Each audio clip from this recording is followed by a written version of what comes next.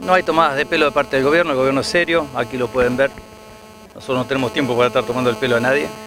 Así que son rondas de diálogo y bueno, eh, nosotros pactamos en junio del año pasado un aumento del 36%, junio a junio. Y los compromisos que habíamos asumido de desembolsos en, en abril este, se adelantaron en el tiempo, así que estamos muy tranquilos con todo lo que venimos haciendo, trabajamos con seriedad y con mucha responsabilidad y bueno, las rondas de diálogo eh, estaban previstas para junio, se anticiparon a mayo, seguirán las rondas de diálogo y seguramente vamos a arribar a una solución satisfactoria dentro de lo que vive el país como realidad macroeconómica y dentro de lo que vive la provincia como realidad de los ingresos que tiene la provincia. ¿El gobierno va a ofrecer un aumento salarial?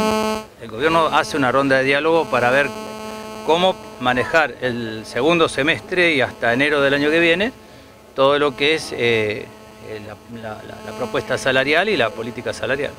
Gobernador, hablando de la situación económica de la provincia, la provincia ayer colocó 400 millones en letras, que supongo, entiendo, le darán oxígeno al, Eh, a la ojo, tesorería. Sí, Ojo, esos 400 millones forman parte de 830 millones que son para refinanciar deudas. Claro. Es decir, no es que se toma ese dinero para afrontar obligaciones.